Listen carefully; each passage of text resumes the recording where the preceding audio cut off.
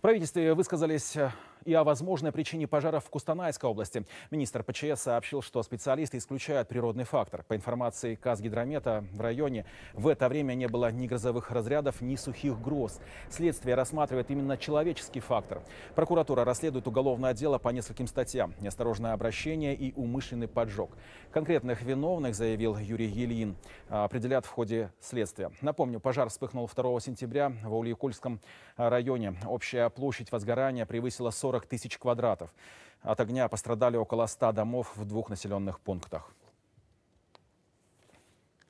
А в Атраусской области продолжают тушить камыши. Задействован вертолет Ми-8. С его помощью осуществляет а, больше 30 сбросов воды с воздуха. Потушен один очаг открытого возгорания на площади 400 квадратных метров. Ликвидация второго все еще продолжается.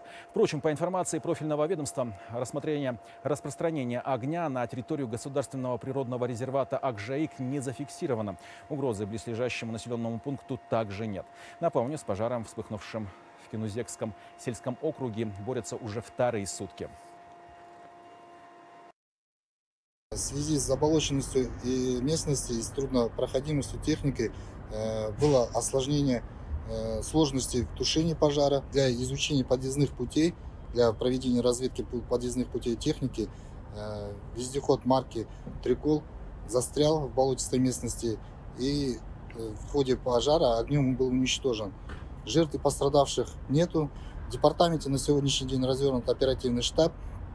Тушение пожара в данный момент осуществляется э, с помощью вертолета.